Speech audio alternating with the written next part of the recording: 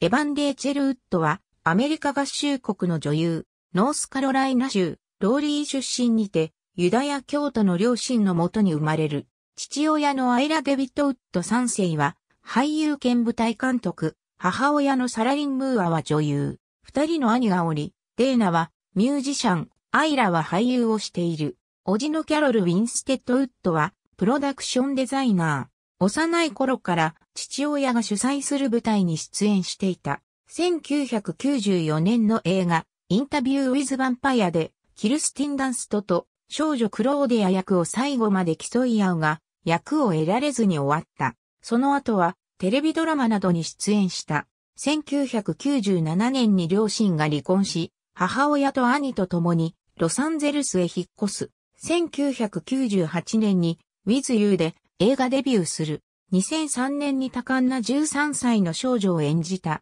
サーティーニあの頃欲しかった愛のことが批評家の高い評価を受け、ゴールデングローブ賞主演女優賞や全米映画俳優組合賞主演女優賞などにノミネートされ、一躍、ハリウッド期待の若手女優となる。2007年公開のビートルズの楽曲を扱ったミュージカル映画アクロス・ザ・ユニバースではヒロインを演じ、翌年公開のベネツィア国際映画最近獅子賞を受賞したレスラーではミッキー・ロークの娘役を演じた。15歳で高校を卒業、テコンドーの黒帯を取得している。グリーンデーのミュージックビデオで共演したのをきっかけに、俳優のジェイミー・ベルと交際していたが1年ほどで破局。その後、2007年から19歳年上のミュージシャンマリリン・マンソンのボーカル、マリリン・マンソンと交際を始め、マンソンと共にミュージックビデオ、ハート、シェイプとグラセスに出演。